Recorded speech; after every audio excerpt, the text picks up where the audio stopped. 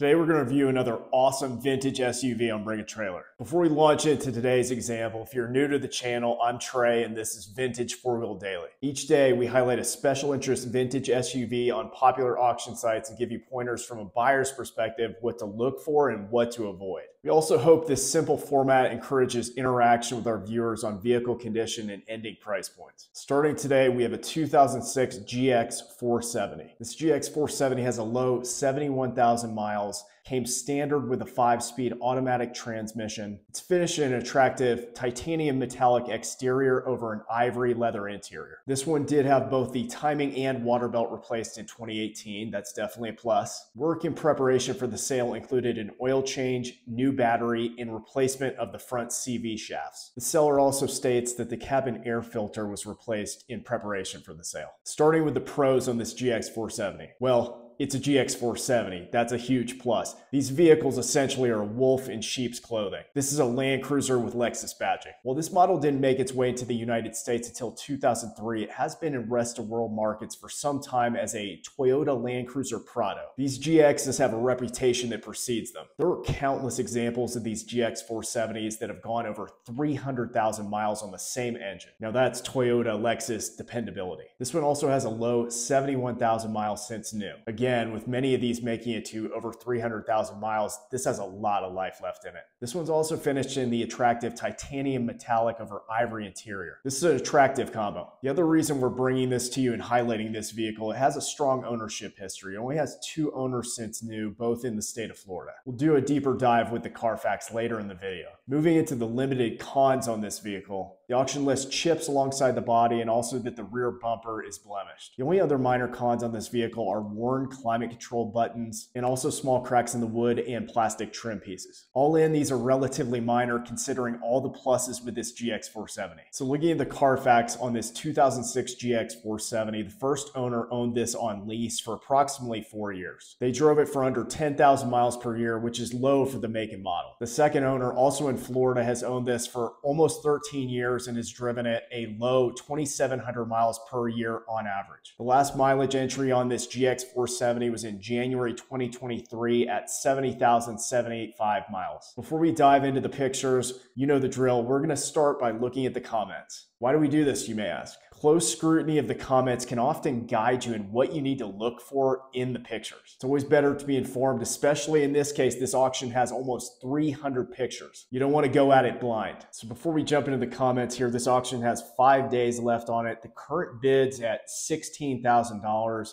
There are three bids and there are currently 16 comments. With a full five days left, 16 comments shows this is an active auction. So what we're seeing here in the comments, uh, the first one says that's some serious dedication. He's in response to a person saying, I have a 2022 and I ceramic coat the undercarriage. I hope in 17 years mine looks the same. He's right. This is one of the cleanest undercarriages I've seen on a 17 year old vehicle. Prior to that, the seller noted that there was no undercoat. He did clean it up, but no paint, nothing else. One thing you want to look for in addition to good quality pictures in a bring a trailer auction is also an adequate number of videos. Typically they'll do cold start, walk around, and also a driving video. So looking at the comments on this GX, there's really nothing that stands out to me. It's time to jump into the pictures. So getting started with the pictures here, this GX is finished in a very attractive titanium metallic exterior. I have a special affinity for the GX 470. I own a 2004 GX 470 in silver pine metallic with ash black interior. Looks very similar to this one. Funny story about my GX. So I bought it as a daily driver. So here's my thought process. I just moved to Colorado. I wanted a vehicle I could take up into the mountains, but also not be too concerned if it gets a scratch or two. I knew I wanted a GX because I studied the market on Bring a Trailer. The early 100 series Land Cruisers have gone up considerably in price. The 80 series Land Cruisers have skyrocketed. I wanted something from that similar era that had the same dependability and ruggedness. I knew the GX 470 would get the job done. So I purchased mine from a Lexus dealership in California outside of Los Angeles. I bought it sight unseen. I relied on the pictures and a friendly salesperson. They helped me arrange the shipping. The shipping only took two days to get from Los Angeles area to Colorado. When it got here, it was actually nighttime. The driver drove a 18 wheel car mover into my residential area. Being that it was about 10 o'clock at night, it literally woke up all the neighbors. Everybody was just staring outside their window.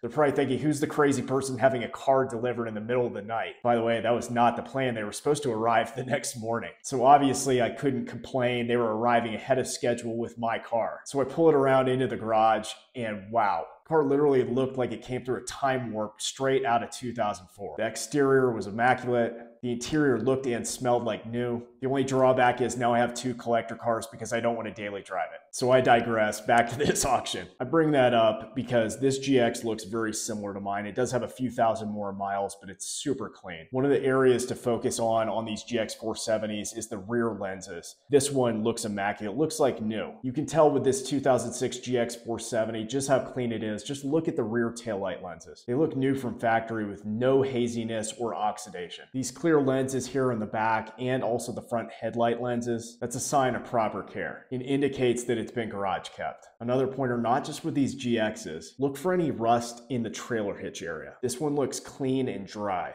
no signs of rust. And in fact, if I hadn't seen the comment about no undercoating, just cleaning, I would have thought that this potentially would have been undercoated or painted. It's just so clean. I do see a few rock chips by the grill. This is just normal road wear and tear. Going around the car, this one does appear to have all factory glass. You could tell by the Lexus insignia. Factory rims all looking good shape, no scuffs or chips. This one's got 265 Michelin tires. I believe that's what came stock. I beefed mine up a bit with 265 BFG all-terrains. Looks really nice on these GX 470s. So now we're gonna move into the interior. Front seats all looking very good shape. Seller was smart to include these pictures. Generally with a 17 year old vehicle, you'd see wear and tear on the armrest, just normal with any amount of driving. This one's not the case. Cushion on this front seat is exhibiting very minimal wear. Headrests have no creases or scuffs. Looking at picture 92 here, I see what they're talking about. This is the first sign I've seen of any cracking in the wood grain, albeit very minor. This is a nice cabin shot here, gives you a bird's eye view of the interior. In picture 103, very impressive dash. The GX 470 was notorious for dash cracks, and I'm not seeing any in this one. Well, I spoke too soon.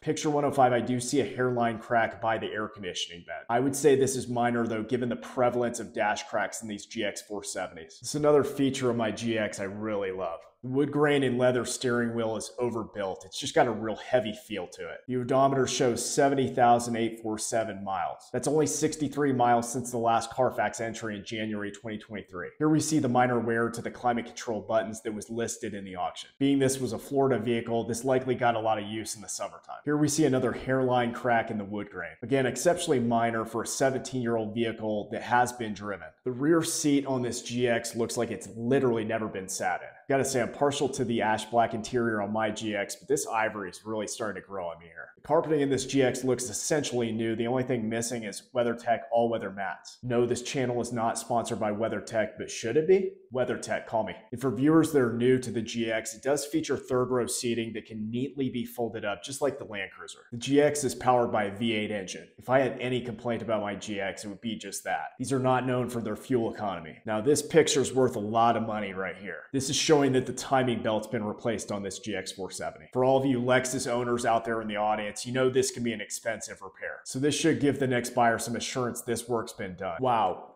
this undercarriage looks new. I see what the commenters were saying. At first glance, I would have thought that this was undercoated. I'm actually surprised by this condition given the Florida ownership. Must not have been a coastal car. Just continuing to go through these undercarriage photos. It's really impressive. It looks new from factory. I'd be curious what cleaning techniques this seller used on the undercarriage. Looks like dry ice. This is really remarkable. I just hit picture 280. This is the last undercarriage photo. Remember, we started at picture 204. I think seller's trying to to set a new standard for undercarriage photos and visibility. He's done a great job. So we're on picture 298. We've hit the end of the photos on this auction. This one shows the GX comes with two sets of keys and books. So in recap, this is a 2006 GX 470. It's got low 71,000 miles. It's finished in attractive titanium metallic over ivory leather. This GX only has two owners since new, both of which were in the state of Florida. And then this undercarriage. I think this one's gonna go for big money. So let's go ahead and take a look at pricing on the GX 470. So to accurately gauge pricing on this GX 470, 470, I only used the years 2003 through 2009. That's the first gen GX 470 in the US. Looking across the marketplace, we have a low value of 17,250 all the way up to 45,000. I found this one to be most similar to a 2005 GX 470 that sold for 26,000 in February. Comparable mileage, 77,000 miles, in similar overall condition. So tell me what you think about this GX 470 auction. I'd love to hear your feedback on pricing and condition in the comments. Also, we are a new channel, so if you like the video, make sure to like and subscribe. This goes a long way to inspire the creation of future content, especially since we have the goal of reviewing auctions daily. Thanks again for watching. See you tomorrow for more vintage four-wheel drives.